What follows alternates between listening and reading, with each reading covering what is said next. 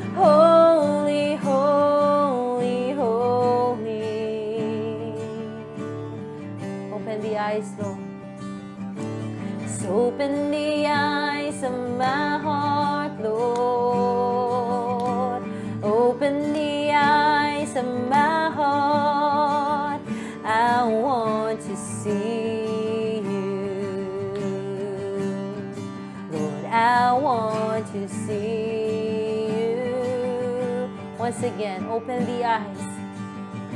Just open the eyes of my heart, Lord. Open the eyes of my heart, Lord. I want to see you. Lord, I want to see you. To see you high, to see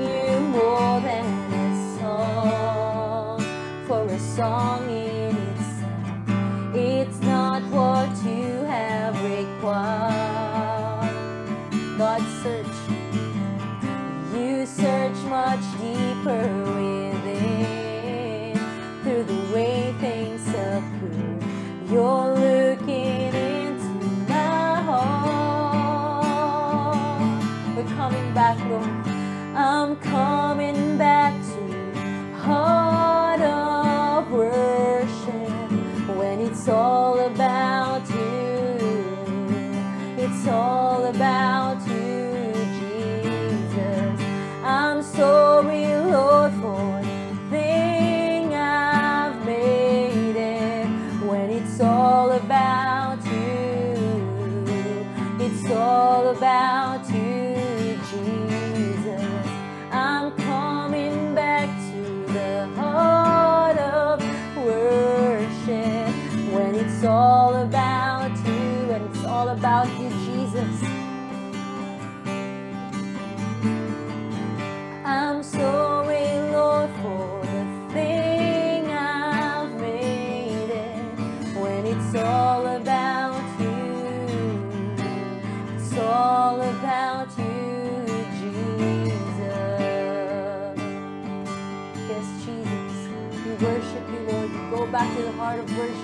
but it's all about you, Lord. Come on, let's bring the Lord more than a song. I'll bring you more than a song, more than a song. Yes, Jesus, more than a song, oh God.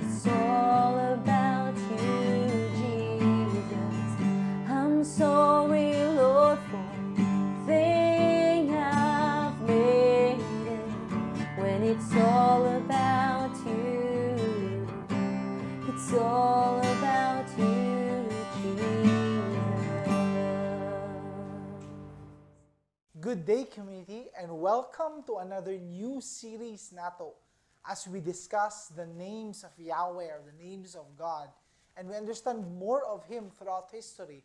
There are many times in the Bible where He is described or called to with a specific name. And many of those times, gigamit lang only once for a particular time. And those times should resound in order for us na masabtan nato kinsa ang Ginoo. Ug tungod ana, bago ta magsugod, let's all bow down our heads. and Let's pray. Lord God, we'd like to thank you for starting in us a new series. Thank you for giving us the wisdom to be able to learn more about you and even giving us examples and even the word na inspired word ni mo Lord through the Bible for us na mailaila ka namo in a deep and personal way until the time na maila ka namo, ilaila ka namo fully when we meet you in heaven. So thank you Lord pagsugod aning series and even for discovering, for allowing us to discover more of you over time. We thank you and we dedicate this time to you in Jesus' name. Amen and amen. Today, magsugod ta with Yahweh Nisai. In the Bible, it is used here in Exodus chapter 17. Og let's read together. Then Amalek came and fought with Israel at Rephidim. So Moses said to Joshua, Choose for us men and go out and fight with Amalek. Tomorrow I will stand on the top of the hill with the staff of God in my hand. So Joshua did as Moses told him and fought with Amalek. While Moses, Aaron, and Hur went up to the top of the hill, whenever Moses held up his hand, Israel prevailed, and whenever he lowered his hand, Amalek prevailed. But Moses' hands grew weary. So they took a stone and put it under him, and he sat on it, while Aaron and Hur held up his hands, one on one side and the other on the other side. So his hands were steady until the going down of the sun. And Joshua overwhelmed Amalek and his people with the sword. Then the Lord said to Moses, Write this as a memorial in a book and recite it in the ears of Joshua, that I will utterly blot out the memory of Amalek from under heaven. And Moses built an altar and called the name of it, The Lord is my banner. So we discover here in this story nga nagsugod ni proclaim ni, Moses after they have won over the Amalekites. O kaning war na nahitabo sa ilaha, Moses was on the top of a hill with the staff of God. And whenever tason niya kamot niya, he would see the army winning. And then if he would lower his hands, makita niyang army sa Israel would lose to the Amalekites. So na ay going back and forth in their fight, depending on how his hands were raised. After they have won the battle, Moses built an altar and dito niya gitawag ang Ginoo, giproclaim niya ang Ginoo sa usa kanya pangalan which is ang Yahweh Nisai. Now, most of us for us to have a clearer defining of terms, no? Na, most of us use this as Jehovah Nisai.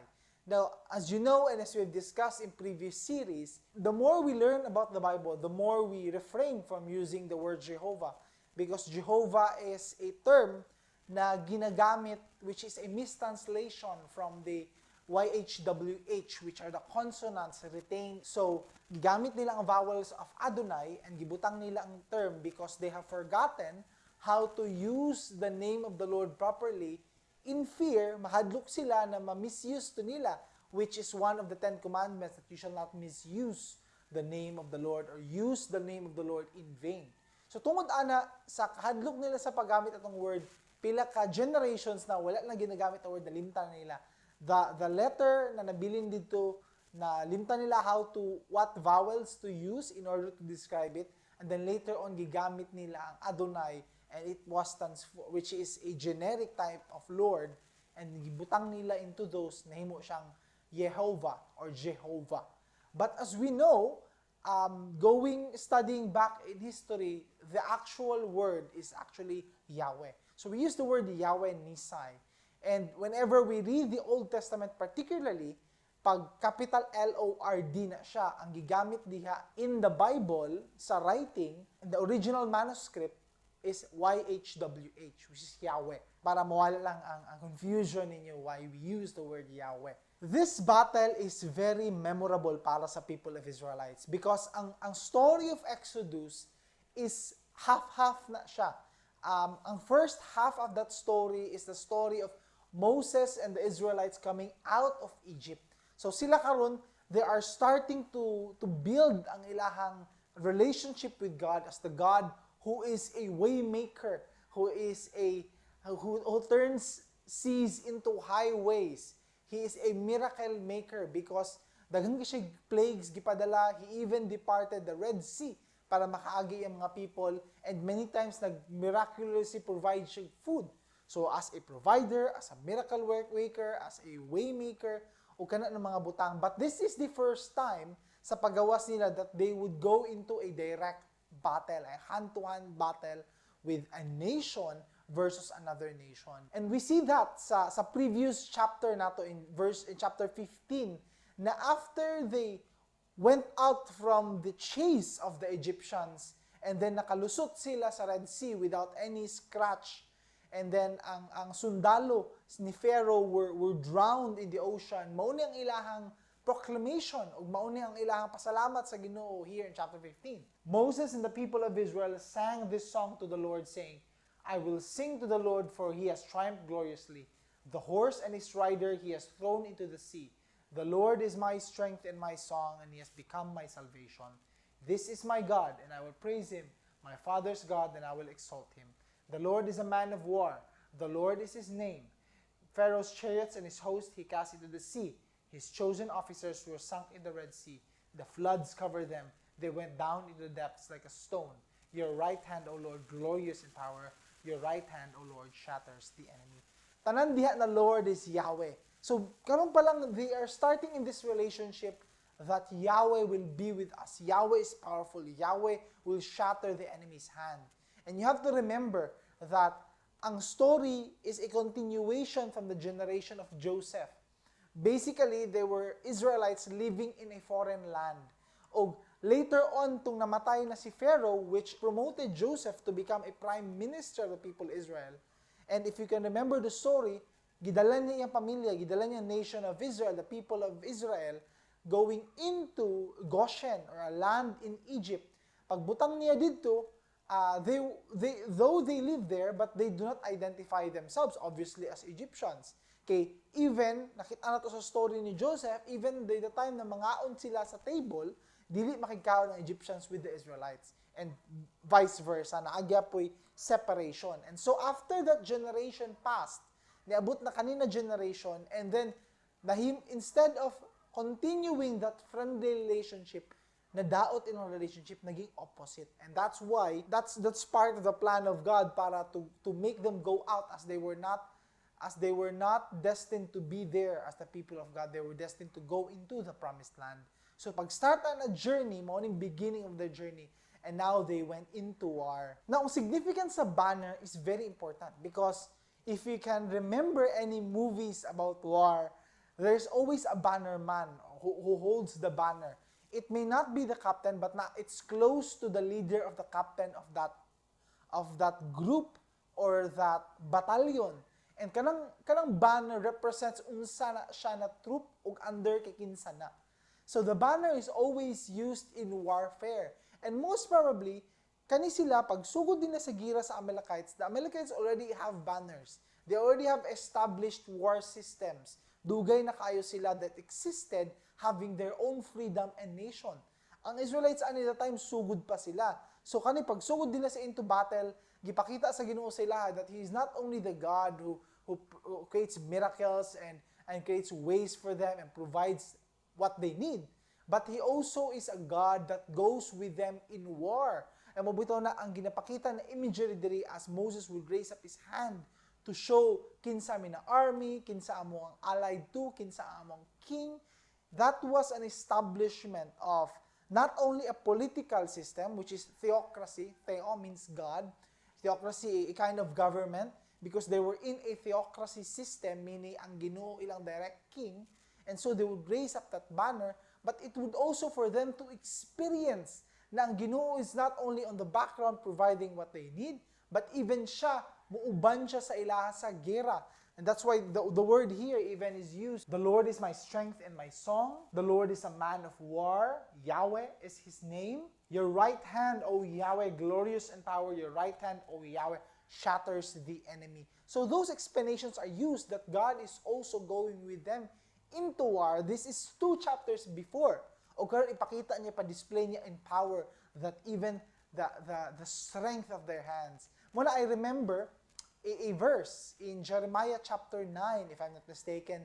Let not the let not the wise man boast in his wisdom, let not the mighty man boast in his might let not the rich man boast in his riches. Let him who boasts boast in this, that he knows me and understands me, that I am the Lord that practices steadfast love, justice, and righteousness in all the earth, and in these things I delight. O of, kind of verse reminds us that even ang Ginoo, He is not dependent on the strength of the army. Muna, if you are, remember the story of Gideon, mabitaw na gamay lang sila in order for them not to rely on their strength. Whenever they go into war and win these battles because the, the God is their God, God is their banner, Yahweh will be with them in war. Mo ay mo kadlo kung ingnan nako mo asa mo moadto. Mabitaw when they disobeyed later on when they tried to attack the people in the promised land kinagsisi sila at first nag-disbelief sila and so namawi sila gi-attack nila isa ka city na gamay dito na noon sila napildi because the Lord was not with them. The banner was not with them. Yahweh Nisai was not with them. And mo na even po, mo po ng reason why si David was commanded by the Lord na ayaw pag-take census sa mga tao. Before you go to war, ayaw ihapa imong mga tao. Do not make an accounting of how many people you have for war. Why? Because that time, mang ihap na ka, pila akong army versus kani akong army kinsa kaya'y dihado, daog ba ko ani, di ba ko madaog ani. What the Lord is telling David is that Yahweh Nisai will go with them into war and into any mission and therefore do not rely on your own strength. So we go to our first point. And our first point is this. To put our faith in Christ is to mean to have Yahweh as our banner. This is not optional when we have decided to put our faith in the Lord Jesus Christ, that means Yahweh is our banner. Siya ang muuban sa atua. He will be with us.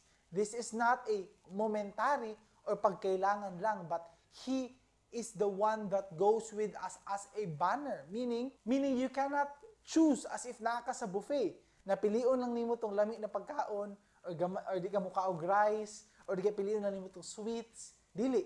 It's not a buffet. Sabay na na. It's a package. Sabay na tanan, meaning you bring with Him in everything, in who He is, what His Word says, and everything about God. That is what you represent. So when we say we trust in the Lord Jesus Christ, it means Yahweh, Nisai. He is a banner. Muuban siya sa tuwa. Not only in the good times, but even in the bad times. Mabito in Luke, we are reminded, if anyone would come after me, Jesus said, let him deny himself, take up his cross daily, and follow me. If anyone would come after me, tanan na mo follow sa tuwa. Deny yourself. So that is a part of removing yung previous na banner, whatever banner you have, whatever ideology you have, whether mubangga ba sa what the what Jesus teaches or dili, regardless you put aside that banner. Ang banner nimo ginadala karon for whatever mission moving forward, it is Yahweh. In 1 Peter, we are also reminded of that. You are a chosen race, a royal priesthood, a holy nation, a people for his own possession, that you may proclaim the excellencies of him who called you out of darkness into his marvelous light. Ana ang pagtanaw ni Peter when it comes to our faith. We are a chosen race, a royal priesthood, a holy nation. Separate mo, lahi mo, because you are carrying my banner out of all the peoples in the world. You are the ones who carry my banner. Even Jesus' words in Matthew 5 You are the salt of the earth, but if salt has lost its taste, how shall its saltiness be restored? It is no longer good for anything except to be thrown out and trampled under people's feet. You are the light of the world. A city set on a hill cannot be hidden, nor people light a lamp and put it under a basket, but on a stand. It gives light to all in the house. It gives light. You give light to all in the house. That is your design. That is part of your belief in Christ. That is your ambition. That is your daily aim. Dili na optional. Dili ka secret Christian. Wherever you go, appeal na sa imuhang identity. You carry that as yourself. Which leads us to our next point. A banner is an army's identity. Whenever you go to war, naadyo'y kinahanglang banner. And sila, they trust that banner. Maubita na if there are people who are spies or a battalion na nag-go into a secret mission, one way for them na para mailad tong uban is they bring the banner of their enemy. Kung asa nag-spy, and mutuo na sila, ah, banner to, ah, banner, ah, sundalo na siya sa kanila king. Because for them, it's really important na imong banner, what you wear, unsa imong binuhatan, unsa imong speech, those really represents kinsa ang imong king o under kinsang kingdom ka. Ug tungod ana you cannot have two banners. Dili ka pwede na ay dual life. Dili pwede na ay lahi ka sa buntag, lahi ka pag gabi, or lahi ka pag Sunday, lahi ka pag weekday. No, the banner that you have is the one that you always will have. Well, di ka pwede mag-choose, pick and choose, depende what type of day. As if murag sanina, unsa karon wash day, dili ko musdala sa akong banner kay mas unsa akong pwede suoton kay wash day. Di ni school uniform.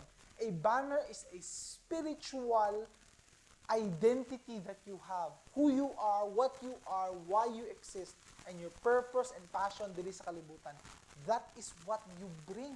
Muna, it's always a struggle because choosing God, believing in God, denying you for yourself might mean you must make very hard decisions in your life.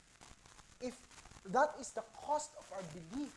There was a man named Dietrich Bonhoeffer, and siya isa ka Christian a German man who lived in the time during World War II. It was the rise of Hitler. So in Germany, as you know, they killed millions of Jews and millions of other people, including disabled people, autistic people, o maski unsa pa, in their ideology, in their belief that they must establish the Aryan race or a race that is perfect. May specification dito, blue eyes, blonde, may certain katangkad, etc. So they, they, they push that agenda and they believe that they were chosen by God to be the Aryan race. Mauna itanggalo nila, i-eradicate nila, i-destroy nila other races that does not fit that description. And part of those is ang pagsisi ni Adolf Hitler towards the Jews as the reason why nagkalugmok sa utang ang Germany. Ug tungod ana, on the background, you, it may, you may begin to question during World War II, unsay gibuhat sa mga Christians during the time. Imagine, a lot of the, German people would kill other people, would kill Jews, which is part of the Judeo-Christian history of Christianity. Not everyone believed Adolf Hitler was the Messiah or the Savior, the one who would make Germany rise up to power. No. There were a lot of also Christians who really believed in the Messiah in the Bible, not a human Messiah in the name of Adolf Hitler. Ug tungod ana, they were in the background. They started small communities, small groups, house churches. Nagtago-tago sila in their meeting place. And one of those men, Dietrich Bonhoeffer, decided that he must do something.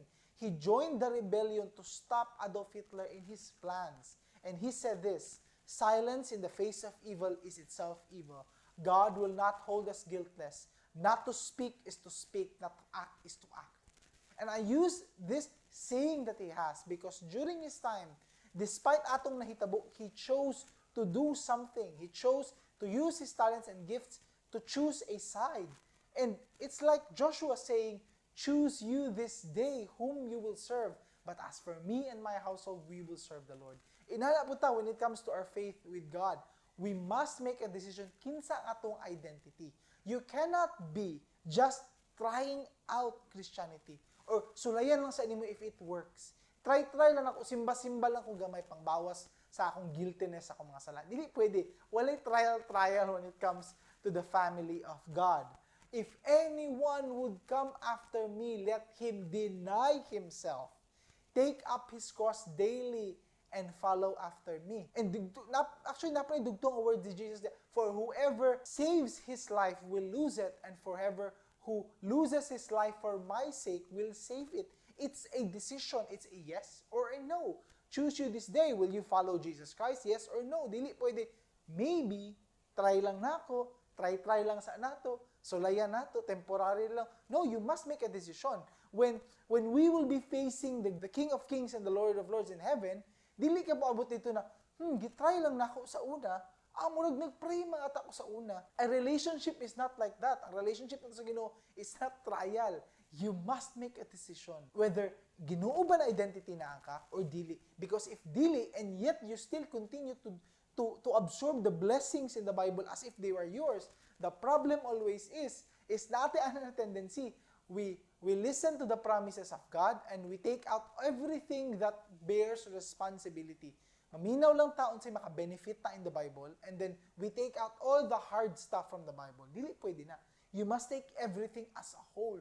That is your identity, the past, the present, the future of God portrayed in the Word of God. Even kanang one of the verses natong ginagamit always in Jeremiah chapter 29 verse 11, For I know the plans I have for you, declares the Lord, plans for good and not to harm you, plans to give you hope in the future.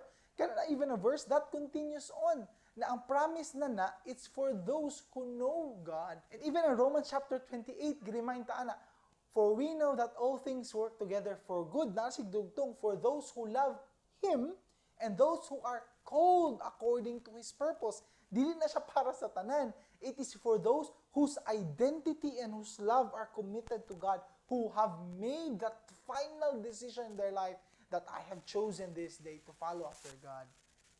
That is why we that is why we have certain declarations of faith. Mo na kinahanglan when we decide to put our faith in God, we be baptized. That is a command. That is a public declaration of faith. Tinud alay na ko this time around. Dili ko try-try lang. I will put my allegiance to God.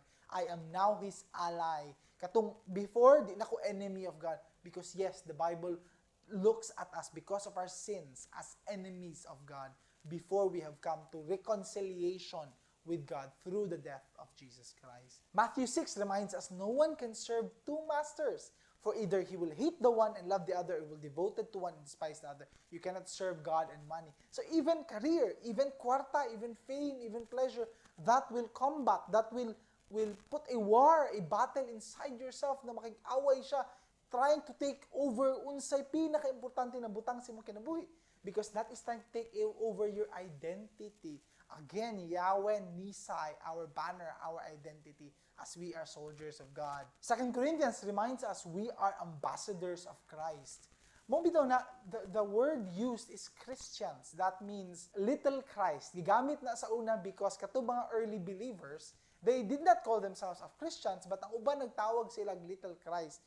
Tungod, every time mo storya sila, ang source nila permi si Jesus Christ. Mingon sa permi, ingon biya si Jesus. Ingon biya si Jesus. Because wala sila yung written word. And ang ilaha is our word past information na mauna yung gitudlo ni Jesus. And so, na ay early apostles na katong direct nakatuon from Jesus Christ Himself, ipasa niya sa uban. And mo pa itong dalawon nila ng mga words, ingon si Jesus sa una, ingon si Jesus sa una. So katong maminaw sa una, sige sila paminaw, ingon ni Jesus, ingon ni Jesus. Maramog mga gamay nga Kristo kay sige lang mo ingon, ingon ni Christ, ingon ni Jesus. That started the word. And that is that should make an impact sa tuwa. A Christian it means your identity is with Christ. He is Yahweh Nisai. Even in Galatians, the words of Paul here, I have been crucified with Christ. It is no longer I who live, but Christ who lives in me. And the life I now live in the flesh, I live by faith in the Son of God, who loved me and gave himself for me. Even the Apostle Paul himself identified that ako identity now I am now crucified. Wala na tong karaan ako sa una, but instead my allegiance is now to God. And this is the hard truth, na dakog possibility when we become serious with the Word of God, it may be a, a, a reason that momentarily ang family will be divided. Even Jesus himself says, Do not think that I have come to bring peace to the earth. I have not come to bring peace, but a sword. For I have come to set a man against his father, a daughter against his mother, and a daughter-in-law against his mother-in-law, and a person's enemies will be those of his own household. Because yes, when you put your faith in God, when you put your identity in God, naadyo conflict within the household. Ako myself, I have experienced that. When I have professed my faith in the family as someone who is the first to be a professing Christian, ang naitabo ato na time was many of my siblings were either quietly disapproving or openly disapproving nga opposite ang ilang pagtuo sa ako ang pagtuo. And that that created initially conflict even for my parents nga nga medyo dili na kay sila ganahan because lahi na ako ang pagtuo sa ilahang pagtuo. And that will eventually happen when we put our faith in God. But again as people who is into reconciliation the same way with Joseph did what Joseph did with his brothers is we try to build that back and we try to put them under the banner of Jesus Christ put we become ambassadors of Christ we become people whom they see as truly wearing or carrying the banner of Yahweh in their life. That brings us to our second point. A banner prepares a soldier to lay down his life for his king. As a soldier, ang imong priority is what the king wishes. Ang iyang priority, iyang life, iyang command. Mauna to imuhang kinabuhi. Mabitaw na in every war, there is always sacrifice. Na mga sundalo na sila ang kinanglan isugod sa front line sila ang sugod na mo entry attack or sila pwede ang magpabilin for others to be to be to retreat uh, safely na isa ka batalyon mabilin o na uban mo pabilin aron to hold off to stop the attack para makatakas ang uban. That's normal. That's a life of a soldier. That is war. A pieces for sacrifice in order for you to win the war. And we see that in Romans. If we live we live to the Lord. If we die we die to the Lord. So then, whether we live or whether we die, we are the Lord's. That is what having a banner is about. Kung naatay banner, that means ang atong kinabuhi is not on our own karon. If the Lord is telling us to change things atong kinabuhi, we trust the King because ang atuang life is no longer circulating around ato ang happiness, but it is in our service to our King. Mabitaw na kay banner. Useless kaya na mo yung banner na ako, sundalo ko, pero na ako'y ako ang goals. Dili. You are in the banner of that kingdom because you serve that kingdom under that king. And Ephesians 6 reminds us that we are in a war. But dili physical war, wala ta nakigsumbagay or nakipagdunggabanay sa people of other faith. For we do not wrestle against flesh and blood, but against rulers, authorities, cosmic powers of this present darkness, against spiritual forces of evil in the heavenly places. We are in a spiritual warfare. Wala ta sa peacetime. And we discussed about this because this is very important na masabta na to ang ato ang kinabuhi karon even the lives that we have in this present generation, in the next generation, they are in a war. And you know this, and perhaps dili ka aware, and you must be aware that there is a constant battle, whether pandemic or dili, of the enemy destroying people's life, destroying families, even people whom we look as we look at giants or titans in the faith fall down because of many different things because appeal po na sa consequences, the casualties of war. The enemy will try to put a foothold in whatever areas itong kinabuhi in order to destroy our life, to destroy our testimony. We are in a constant warfare. Don't expect that because you are serving God na wala opposition, wala mo kalaban sa imo. No. Peter reminds us that the devil is like a prowling lion waiting for someone to devour, waiting to attack. Lion na naa sa gawas, nagulat, dili na iring, dili na uh, iro, but lion na ready to eat you, ready to destroy your life and your family. Muna, we are in a spiritual warfare. Earlier this week, I read a letter of Pastor Wang Yi. Uh, he is a Chinese pastor. Uh, this pastor actually, medyo sikat ni siya because he leads one of the biggest house churches in China. And just last year, he was sentenced nine years in, in prison because ang iyahang house church, which is very big in China, an underground church. When we say underground church, meaning wala siya nagpa-register sa sa national, sa China's nat- national na murag Protestant churches because what happens is if magpa-register ka, they would regulate yung mga sermons, pilian nila unsay pwede ni preach, unsay dili, pilian na kinsay pwede maging membro, kinsay dili, bantayan na tan lihok nila and as if sila yung bagong Ginoo karon that they will only let you speak what you what what they allow you to speak, not the words of God, but what they have approved na pwede nimo ingnon that are not contrary to their beliefs. So wala niya pa-register dito and what happened was he was arrested. And when he was arrested, nagbilin siya letter that after two days, pakulong ko, di kaya po nila gawas, which means they will put me in a trial. This was three years ago. I-release ni sa kalibutan. This is, this is what happened. And I'd like to read three parts so a long letter niya that really struck me in his ministry. He said publicly, mainly to talk about the communist regime, he says, I also believe that the persecution of the church by the Chinese communist regime is an extremely evil crime. As a pastor of the Christian church, I must sternly and openly blame such sins. The calling also requires me to violate all human laws that violate the Bible and God in a non-violent form, in peace and patience. Christ, my Savior, also asked me to joyfully bear all the cost of transgressing evil laws. But this does not mean that my personal and church disobedience is a political act in any sense of activism or civil disobedience, because I have no intention of changing any of China's systems and laws. As a pastor, the only thing I care about is the disobedience of faith, the shock of sinful humanity, and the testimony of the cross of Christ. As a pastor, my disobedience is part of the gospel mission. The great mission of Christ requires a great resistance to the world. The purpose of resisting is not to change the world, but to witness another world. And this is a very courageous letter. Imagine nine years in prison for following Christ, and he accepted all these things. And the reason why he accepted all these things because he knows Yahweh Nisai, he is my banner. Banan gyapon ko niya in prison. And that is and this is my battle. Ug kabalo siya that he is willing to lay down his life for this faith. And ang challenge siya na is that it should challenge our thought, even kita. Gamay lang kay inconvenience, gamay lang kay discomforts tong kinabuhi. Di lang moabot ang tama nga kwarta. Dili lang masunod atong gusto na atay nawalaan isa ka gadget or na ay na ay traumatic event in our life and mo na tong cause nato nga magpalayo ta sa Ginoo just because of that simple thing? Asa naman ang ato ang allegiance sa ato ang king ato? If ang king would say command you to go to a place na medyo layo medyo kapoy ang journey would you just say ay di ko ganahan tanggalon ako ning banner nako dili pwede. Unsa na asa na ka na kingdom belong to? You are a man with no allegiance and that means you will go into a life of senseless suffering, senseless existence, wala kay purpose sa kinabuhi. Kung ba lang gusto nimo in your life and for the, your next generation? But ang problem is, gihimo na to ang Ginoo not as a banner, but as a rich uncle, dato nga uncle nga permi to pangayuan og sweldo o allowance o regalo. And if dili ta ganahan kay uncle, pwede ta mo sukol sa iya ha. And then tugunan niya at ihatag niya unsa ang ato ang gusto because gusto ta niya i-spoil. No. Yahweh Nisai. He is our banner. He is our life. Siya ang atong kinabuhi. Our life is secondary, even third priority, or even the last priority. The words pa ni Paul, to live is Christ. To die is gain because I will meet Christ. Siya na akong kinabuhi from this day moving forward. And we go to our last point.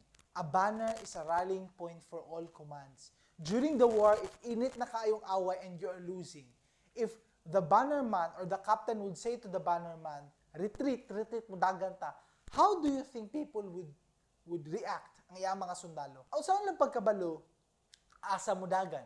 In the midst of fighting, assuming na gamay lang ang variance sa height, saan niya pagkita, asa dapit ang captain, asa dapat dapit mo retreat, o asa dapit mo muadto whenever init na kayo ang away or di ka mo sa advance move forward attack unsa kay sundo nila? Could you guess? The answer is the banner.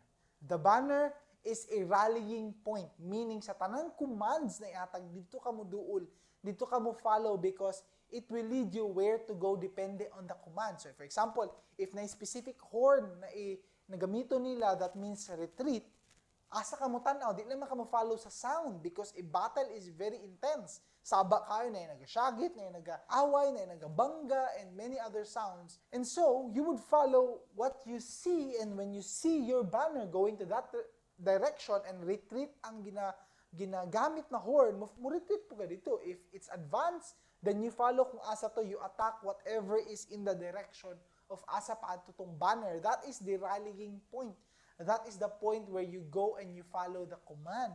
Meaning, Yahweh Nisai, meaning Yahweh is your command.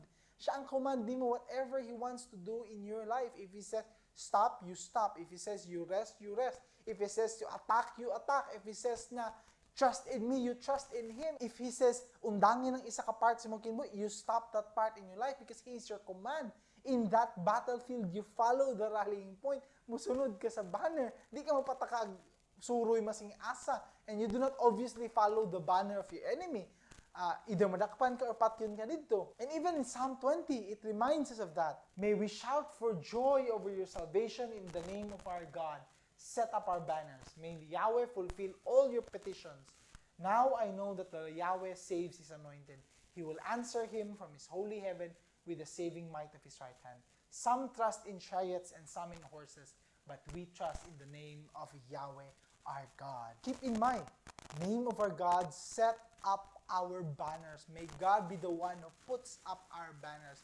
May He be the one that is our rallying point. And if we only wake up that we are fighting a spiritual warfare, ug na ay banner, which is ang ginoo na pirmi na daganan, kaya na pwede na to duulon, pwede na to daganan in times of trouble, mas dali ning life ba? Mas dali ning ato ang warfare natay community that He has set up with all these rules and commands para dito ta mag-learn, mag-grow, and mag-depend on. Natay Bible where we can learn about His words and who He is as a God.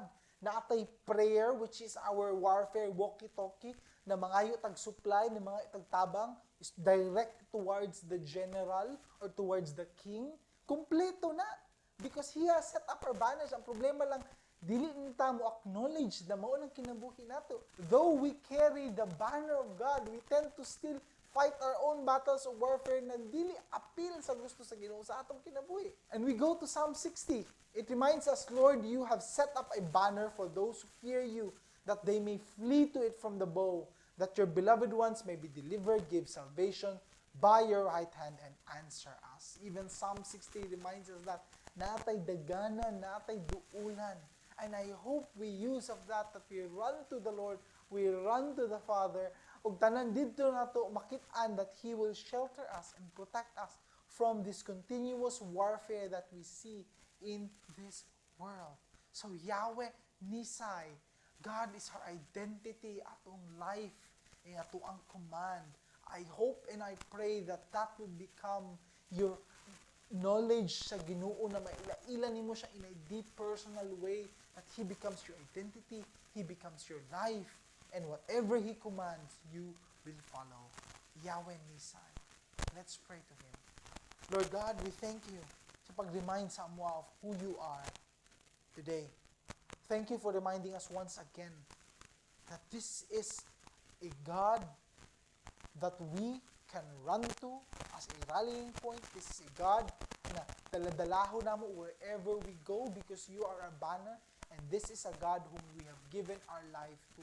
And if muingon lang ka of whatever things in our heart that you want us to change, I pray that the community will be a community of believers who are contrite, that at the word of the Lord easily will listen and forsake all these things na dapat biyaan. Lord, I pray that you do that.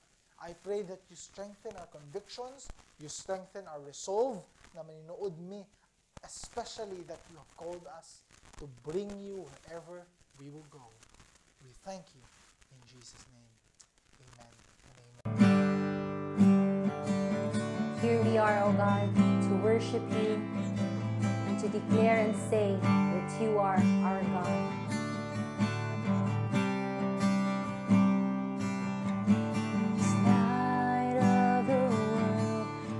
Step down